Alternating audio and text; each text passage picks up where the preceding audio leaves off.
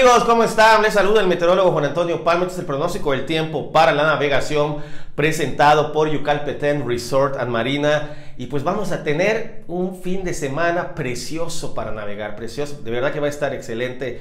No va a haber calor incluso, eh, va, va, a disminuir la velocidad del viento después del paso del frente frío Balanca que dejó vientos de más de 60 kilómetros por hora media semana.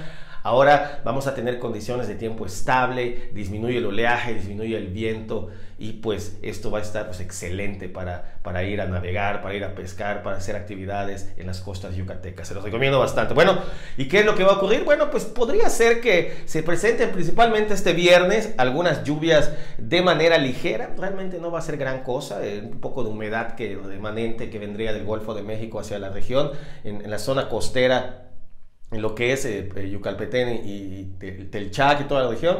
En la zona de Alacranes hay tiempo estable para este viernes, pero para el sábado y domingo todo excelente, el tiempo excelente, parcialmente nublado eh, periodos de sol, no va a haber tanto calor, las temperaturas cuando mucho alcanzando 26, 27 grados Celsius, refrescando por la noche a valores de alrededor de los 20 grados Celsius, bastante, bastante bien va a estar la condición.